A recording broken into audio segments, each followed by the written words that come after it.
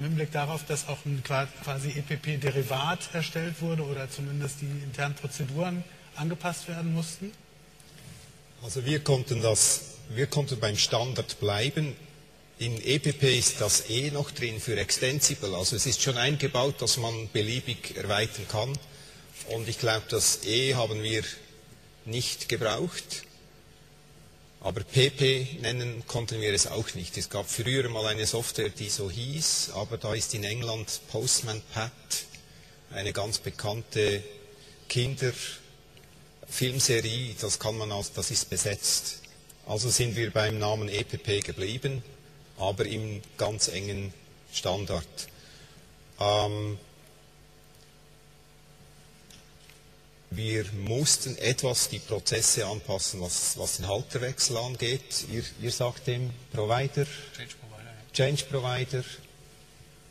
Äh, nee, bei, uns heißt es, bei uns heißt Transfercode. Nee, wir reden gar nicht von anderen Prozessen. Von anderen Prozessen. Halterwechsel ist Genau, Inhaberwechsel. Owner Change, ne? Inhaberwechsel. Inhaberwechsel.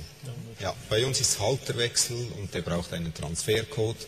Aber dahinter steckt wirklich das Standardprotokoll äh, unverfälscht. Aber es ist eigentlich so, dass bei, bei Switch kein Transfer stattfindet, sondern eine Löschung und eine Neuregistrierung. Ja, das ist die alte Diskussion, was, was die Tätigkeit äh, der Registrierungsstelle angeht. Kann, wir teilen einen Domainnamen zu, aber wir geben eigentlich nicht das Recht dem Halter, dass er den selber jetzt wieder einem anderen zuteilen kann, weil, weil wir darüber wachen, wie die Zuteilungsbedingungen sind. Der Domainname muss also ähm, zurück zu uns und dann zum neuen Halter. Das ist mindestens so, wie es die Policy vorschreibt und wie wir es auch in der Datenbank dann so dokumentieren. In der reellen Welt ist es natürlich anders, dass der eine Halter mit dem anderen spricht und ihn den verkauft oder verschenkt oder wie auch immer. So haben wir eben gelernt, dass man mobile Endgeräte nutzen kann, ohne dass man merkt, dass das Internet dazwischen hängt. Und bei Switch kann man lernen, dass die Domain zwischendurch technisch oder juristisch zwischenzeitlich mal gelöscht wird und dann wieder neu konnektiert wird. Sie, da haben wir sicherlich, oder zumindest einige von uns heute noch eine Neuigkeit mitgenommen. Gibt es zu dem Thema noch Informationen aus Österreich? Ich denke, wir, ähm, wir hatten oder haben den gleichen Weg gewählt. Wir sind sehr, sehr nahe am RFC geblieben. Ich glaube, ganz ohne Extension ging es nicht, aber ich glaube, die sind mittlerweile für fast alle Registrare leicht zu implementieren.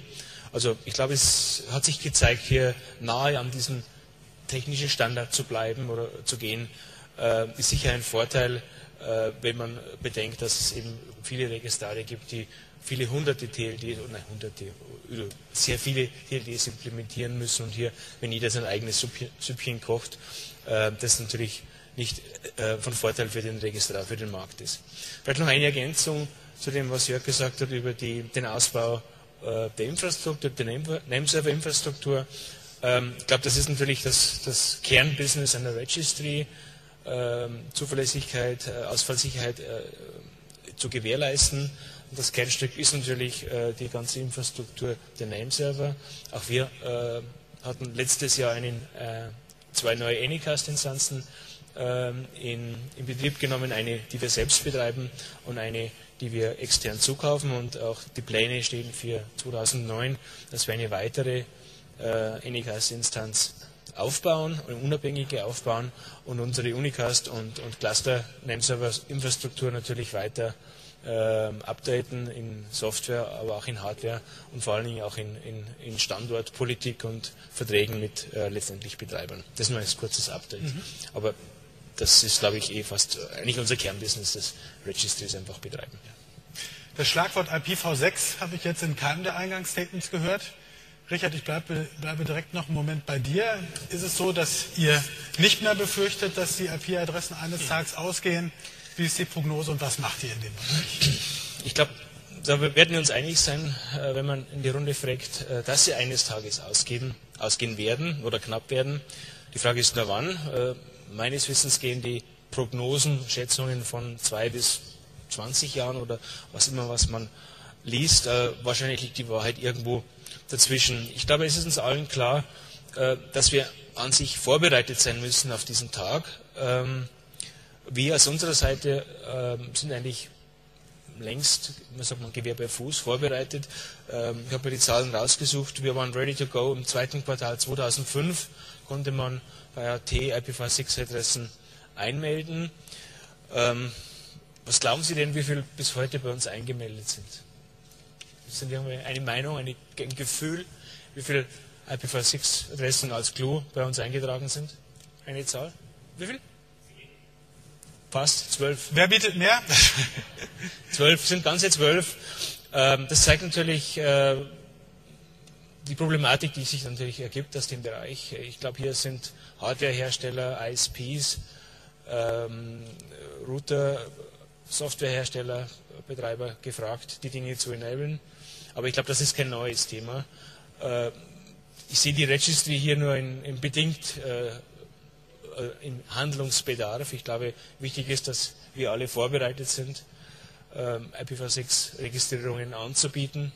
Ähm, aber der Rest muss letztendlich der Markt oder die Marktteilnehmer selbst regeln. Vielleicht an der Stelle die Frage ans Publikum, ob äh, jemand eine Einschätzung wagen möchte, woran das liegt. Und ich denke, die, die Registries, die hier vertreten sind, sind alle enabled. Äh, trotzdem Woran hapert es bei der Marktakzeptanz? Da vorne, könnten wir einmal da vorne das Saalmikrofon haben.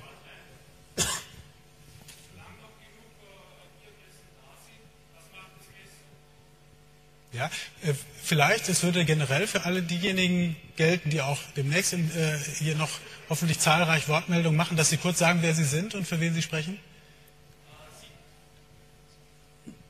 Siegfried Höfer, aktualisiere Internet. Prima. Also Sie sagen, es fehlt an den, an den Vorteilen. Gibt es weitere Wortmeldungen dazu? Gut, momentan sind Sie noch schüchtern. Ich verspreche Ihnen aber, dass ich Sie noch nicht vom Haken lasse. Kommt gleich noch die Gelegenheit, etwas dazu zu sagen. Es gibt aber durchaus Überlegungen, wie man das Thema forcieren kann. Ist das nicht so, Urs? Ähm, bei uns in der Schweiz wird IPv6 dieses Jahr zum Thema gemacht. Ähm, wir haben auch schnell in unserer Datenbank geschaut und Erstaunliches gefunden. Wir haben äh, 192 Nameserver, die ihre IPv6-Adresse eingetragen haben. Und diese Nameserver bedienen 44.000 Domainnamen. Das ist 4%, also verschwindend, aber immerhin, da ist schon etwas da.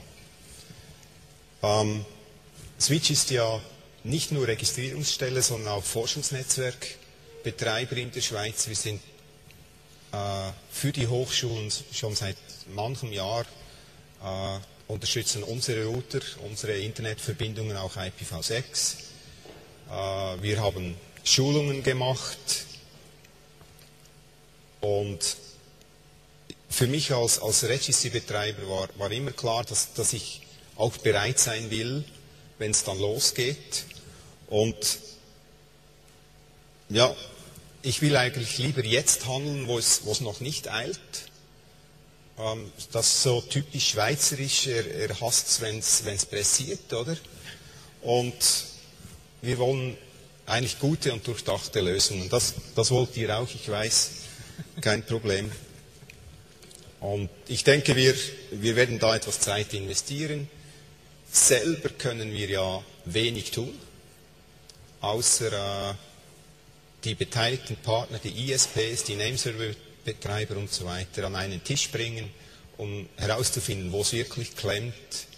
Äh, die fehlenden Vorteile, das ist sicher ein Punkt, es ist nur Aufwand, äh, das, das wissen wir, aber der Aufwand ist eigentlich nicht mehr so groß. Vielen Dank. Möchtest du zum ich denke, dass äh, bei der DENIC das Thema ähm, IPv6 kein, kein Diskussionsthema mehr ist, sondern es seit längerem Normalität. Das heißt, bei uns ganz konkret, äh, DE Name Service ist äh, an zwei Unicast-Standorten erreichbar. Wir haben im Moment gerade Aktionen laufen, auch die Anycast-Wolke entsprechend zu adaptieren. Unser Registry-System ähm, kann IPv6 Nameserver-Einträge aufnehmen